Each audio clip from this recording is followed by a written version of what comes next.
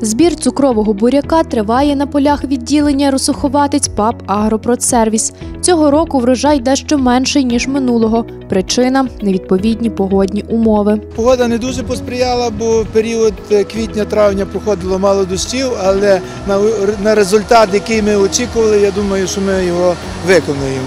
Планові показники будуть виконані. Та попри труднощі, цього року Україна буде з цукром, запевняють аграрії. Я думаю, що наша держава цього року, наші захисники будуть пити солодку каву, солодкий чай. І думаю, в нас буде все добре. Збирати цукровий буряк планують до початку листопада, якщо погода буде сприятливою. Підписуйтесь на тернопільські новини в Ютубі.